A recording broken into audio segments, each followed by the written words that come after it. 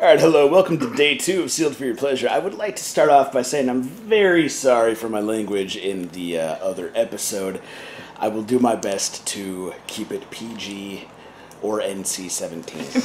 So, Somewhere we between there. that sweet spot right in the middle. All right, we got uh, pack two. I'm still forcing elves, even though I didn't get a single elf in my other pack. So it's gonna be uh, it's gonna be tough. Got a Akroan Sergeant, Yoked Ox. Got two of those bad boys now.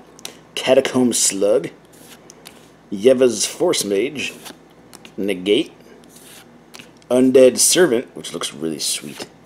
Dreadwaters, where are my elves? This is Pilgrimage. Suppression Bonds. Veteran Sidearm. First one coming is the Sphinx's Tutelage. Runed Servitor. Anchor of the Anchor to the Aether. Can I stop getting blue cards, please? And oh, gosh dang it. Stupid card. Soulblade Djinn. Flying 4 3 for 5. Whenever you cast a non creature spell, creatures you control get plus 1 plus 1 until the end of turn. Gosh dang it. I gotta play blue. This is ass. Stupid cards. Mm. give me your pack. So she got a Mage-Ring Bully.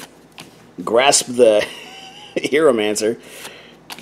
Touch of Moonglove. That's actually kind of cool looking.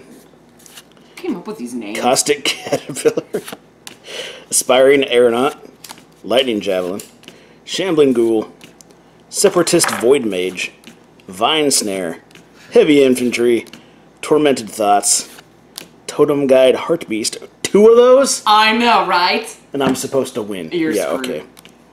Bounding Krasis, and a Chandra's Ignition. Target creature you control deals damage equal to its power. Uh, what?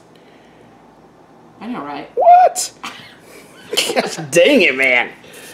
Oh, we're doing well. We're- Actually, we're going to do a special thing with Sibling Rivalry where we switch decks after we open really? six packs. Yeah, we're, I, I we're going to see what can't happens. wait. All right, guys, thank you for watching. I will see you, and she'll see you tomorrow.